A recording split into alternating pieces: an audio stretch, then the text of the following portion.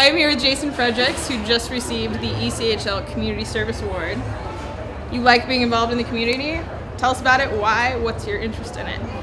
Um, it started when I was younger. I always been in community involved uh, events. Like I did 4-H when I was younger. We did a lot of volunteer work there. Did that through middle school. I went to Shattuck St. Mary's High School in Minnesota. We had to do 40 hours a year. It was 20 on campus, 20 off campus, and so kind of started doing that. And um, I normally did.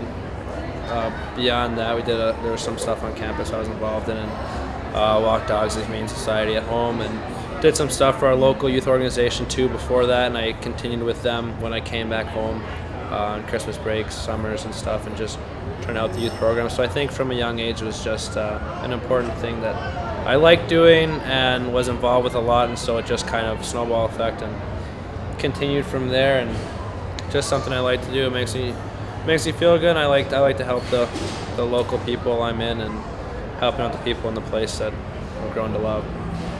Great. Can't really get much better than that. It was a thorough answer. it was. I like it. So, out of all the events that you did with the Reign this year, which one was probably one of your top favorites?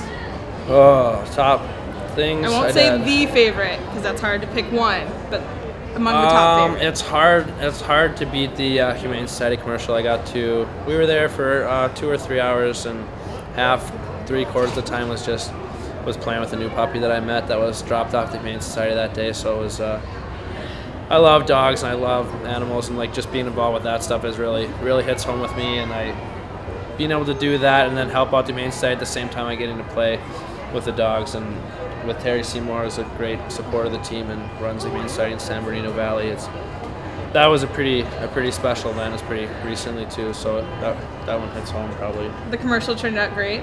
Thanks. I like it. Always first to sign I up. tried not to ruin it. No, it was good. It was good. Composed as Yeah. always because he's Yeah. always ready to go. Naturally. Right. Naturally. Well, Jason, congratulations. I know the community really loves you guys being involved, and it's huge to get recognition for the team and for yourself for everything you do. Yeah, I appreciate it. Do you bring your A I'm sorry, game? I'm sorry. I always have my A game. Okay. I'm always ready. I'm ready whenever you are. For real this Who, time? me or Cole? For real. Because I'm always ready.